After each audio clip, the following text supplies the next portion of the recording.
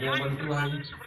भैया अखिलेश राहुल जी युवाओं का गठबंधन कब देखा था मैं अखिलेश राहुल जी से पूछना चाहता हूँ आपके लोकसभा क्षेत्र में जैसे युवाओं को रोज़गार उचित शिक्षा न मिल पाए तो आप कौन सी युवा गठबंधन कहाँ नहीं रख लोगों का तब तक लिए निकलेगा। उनके लिए भारत